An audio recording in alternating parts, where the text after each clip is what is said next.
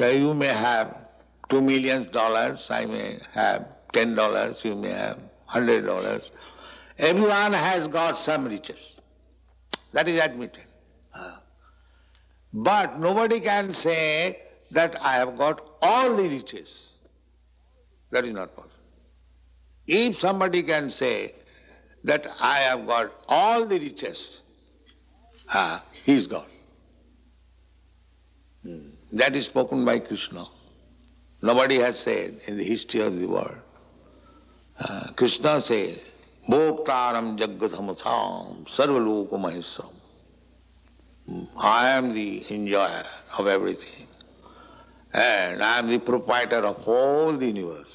Who can say that? That is God.